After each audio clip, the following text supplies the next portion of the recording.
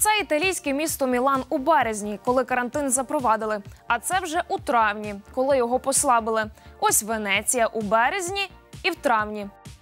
Це Париж, а от Афіни. І так у низці міст по всьому світу.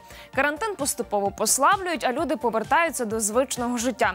Ні, це не означає, що коронавірус зник і більше ніхто не хворіє. Досі щодня реєструють десятки тисяч нових хворих, а загальна кількість інфікованих вже перевищила 5,5 мільйонів. А це майже як населення Києва помножене на два. Тож, попри послаблення карантину, розслаблятися людям не варто. Як і раніше, треба дотримуватися соціальної дистанції, носити маски, часто і ретельно мити руки, не торкатися обличчя і обмежити мобільність без нагальної потреби.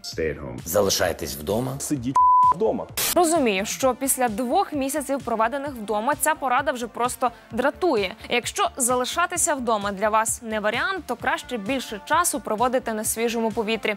Не затримуйтеся у храмах, магазинах чи салонах, а спортом краще займайтеся на вулиці, адже спортзал це закрите приміщення. Тим паче там люди зазвичай пітніють і глибоко дихають. А чим більший видих, тим більше шансів заразитися. Тому правило номер один: уникайте закритих приміщень, крім власного дому, і більше гуляйте на вулиці.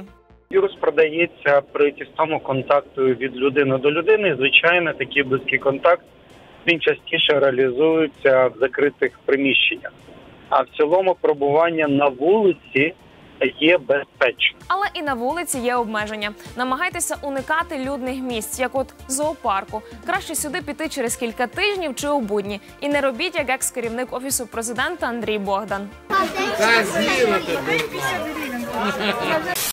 Номер два: не контактуйте з великою кількістю людей. Якщо ви могли працювати під час карантину віддалено, то просіть роботодавця продовжити цю практику. Якщо треба повертатися в офіс чи інше робоче місце, то перевірте, чи добре воно провітрюється. Забезпечте себе антисептичними засобами і взагалі не торкайтеся обличчя, навіть якщо воно чухається. І звісно, дотримуйтесь дистанції з колегами, не тисніть руки і не обіймайтеся.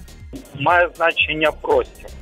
Бо для того, щоб відбулася та чи інша інфекція, ну ми говоримо про інфекцію, яка продається повітряно-крапельним шляхом, потрібно мати певну інфекційну дозу, тобто отримати певну кількість збутника. Має значення е, відстань, і в даному випадку ми говоримо про 1-1,5 метри. Але е, також потрібно пам'ятати про е, тривалість перебування в контакті. В даному випадку вважають, що тривалість 15-20 хвилин є якраз е, тим часом, е, який робить е, більш ймовірним зараження при контакті з хворою людиною. Правило номер три: будьте обережні із закладами громадського харчування. Якщо на карантині ви дуже сумували за ресторанами чи кафе, то намагайтеся йти туди, де відкриті тераси, і між людьми велика відстань. Не так, як тут, наприклад.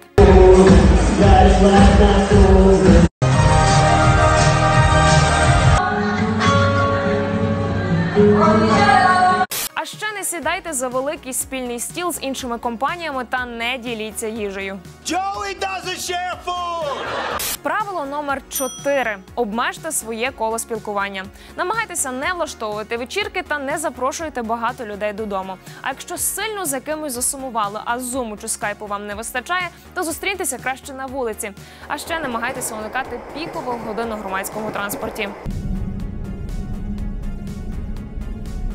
Звісно, з приходом літа і втомою від тривалого карантину та провалу економіки коронавірус здається вже далекою проблемою. Але це не так. І щоб уникнути потужної другої хвилі хвороби та не сидіти на ще одному більш жорсткому карантині, не варто нехтувати простими, але дієвими правилами.